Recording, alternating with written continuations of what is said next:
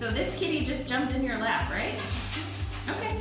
So do you think he would be good for families? Yes. Very good for families. Well, he's a very friendly cat, and um, he's probably a good fit for a lot of families.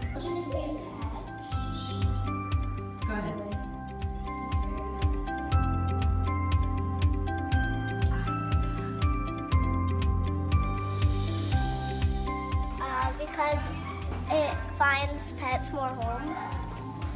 Um, so they can have a home, a big home, and have an owner to take care of them. They should adopt because it can make their lives better, and they're just stuck here, but they can have like a real home. Okay.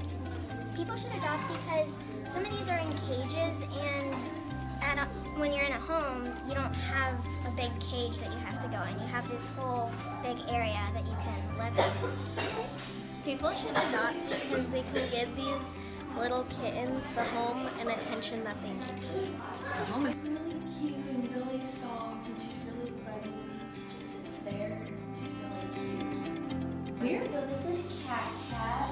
She's a little shy, but once you get to know her, she's very, very sweet and very gentle. He is very sweet. He's very cute and handsome. He likes to play. Um, he has a very cute meow too.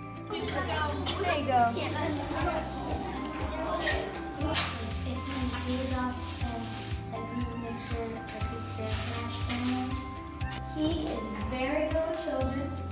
Um, he likes when I put two fingers um, on his face. He rubs his face on it, and um, he, and she's super sweet.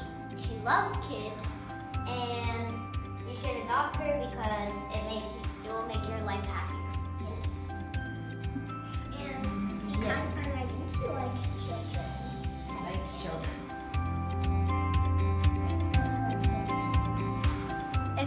adopt, you can always help by fostering. Come adopt a new pet!